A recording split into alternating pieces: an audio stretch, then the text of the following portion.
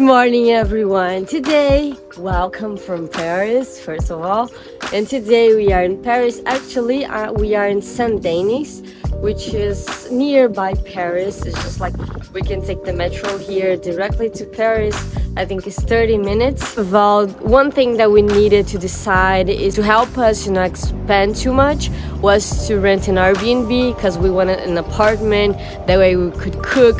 We can have like uh, we we could expend less in restaurants and things like that. So I just decided to book an Airbnb because of the dates because i didn't had much time to plan it um, i just found it an airbnb uh, in saint denis which is where we are right now but it's like 20 30 minutes from paris to here. We could take we can take the metro so it's like it's the best place we could ask for.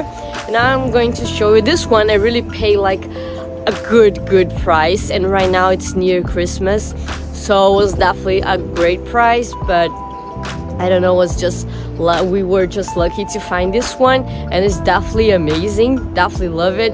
Really well located, have a lot of restaurants nearby, a lot of markets nearby and also the metro. That way we can go to Paris and we just spend in metro like 2 euro, euros and 10, I guess, to go to the to, to Paris. So it definitely worth it.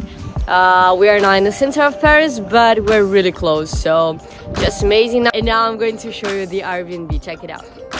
And the apartment is just like really big. We have that that view. We have a great kitchen.